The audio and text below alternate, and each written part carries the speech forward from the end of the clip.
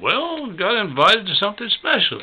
you know, as a kid, I had heard of raccoons, coons, coon hunting, but I'd never seen a raccoon.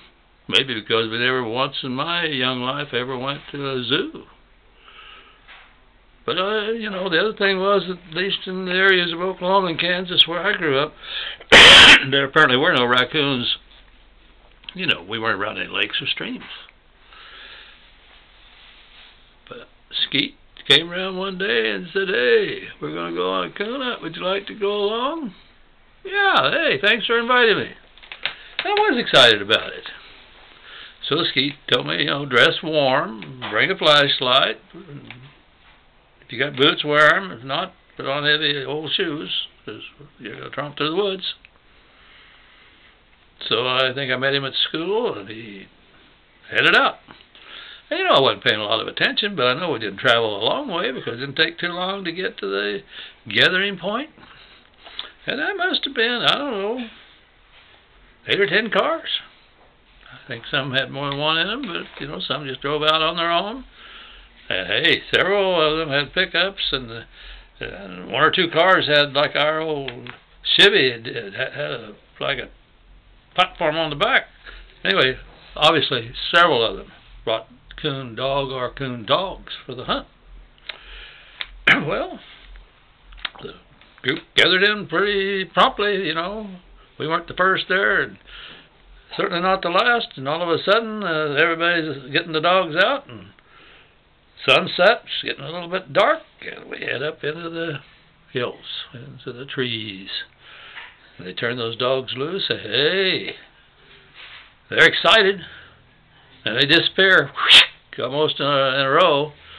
And eh, a little bit of noise, but not much. And boy, it wasn't long. I don't think maybe four or five minutes. And they start baying. And uh, other guys are following them, you know, getting excited. And uh, the dogs start really making a racket. And then there's a deeper baying. And somebody said, hey, that's old, and they named him, and I don't remember what his name was. And when he makes that sound, he's hot on the trail, and it won't be long until he'll have that coon treed. Well, then I noticed something. They had been pretty much following the dogs. But now they heard where the sound was and knew they know this area before. They knew something that over in here is where that coon is likely to go and to get treed. So instead of following the dogs now, they cut across a shortcut. And sure enough, we got there, you know, I don't know, it was five, six minutes, but I mean, we were moving right along. And we got into an area with bigger trees, and the dogs are, I mean, they're saying, uh, he's up there.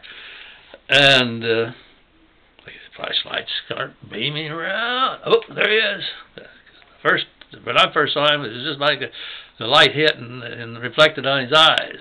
And then, boy, once they located him, all those lights focused in on him, you can see a fair-sized coon up there. Holding on, looking at baring his teeth at those dogs. Hunt's over, right? No, no, no.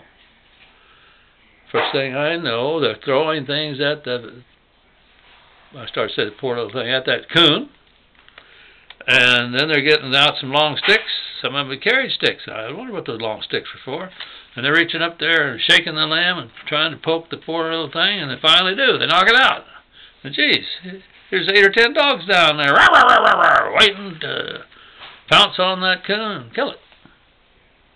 I gotta admit, I kind of got loyal to the coon. It doesn't look like a fair deal to me. but you bet didn't say anything.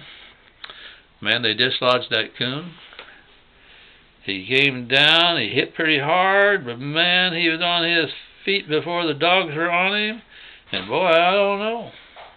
Uh, some of those dogs are smart enough they didn't just rush on in. One or two that did rebounded, whining. They've been hurt. And yet the dogs are, getting in there trying to nip him and put him down. And all of a sudden he broke through, and away he went, all the dogs after him.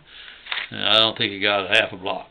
And obviously, from the sounds of things, the uh, dogs finished him off. And of course, some of the guys that ran over there like 60, and some dog was declared the killer. He'd gotten the coon.